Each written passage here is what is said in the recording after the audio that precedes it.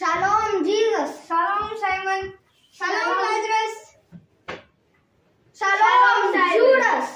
Shalom, Simon. Shalom, Lazarus.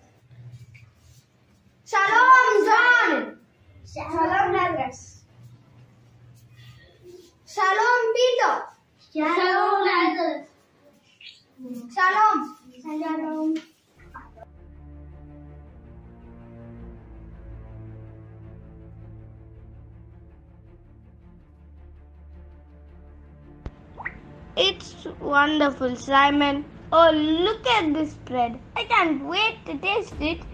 Martha, every time we come to Bethany, we look forward to the hospitality you provide for us. Oh, Judas, I'm flattered. Thank you. Serving hands for my master always. Thank you, Father,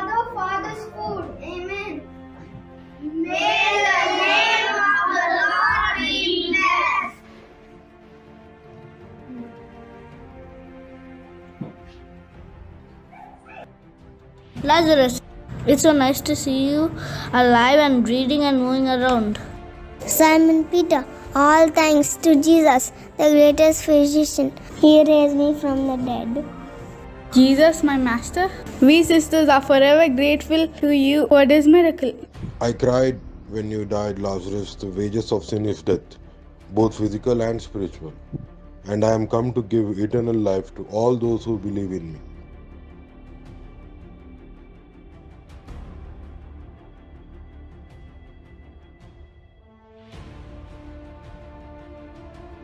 Mary is such a foolish woman. Why would you say that? I don't think she knows how much that is worth. If she did, she wouldn't have wasted it. How much do you think does it cost?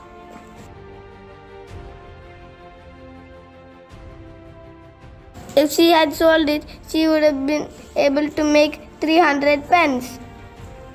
And then she could have distributed that money among the poor instead of wasting it like this.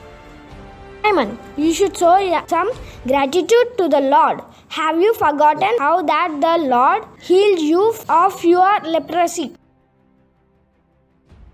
Yes, my friend. Remember the time you, you were shut out from your own? You should never forget that Jesus healed you. Simon and John, why are you both getting after Simon? He's only suggesting that that money could be put to better use. Judas, no wonder you carry the money bag around. Your heart is in the money bag, isn't it? I agree with Judas.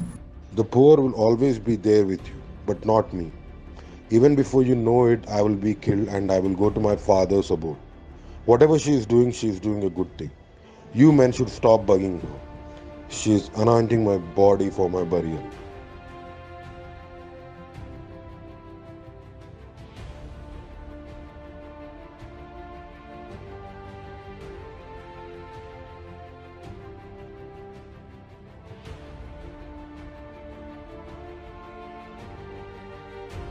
But she was not so foresighted when her brother Lazarus died. She didn't believe that Jesus could raise him from the dead. Does anybody want more juice? Yes, please. Yes, you're right, Judas.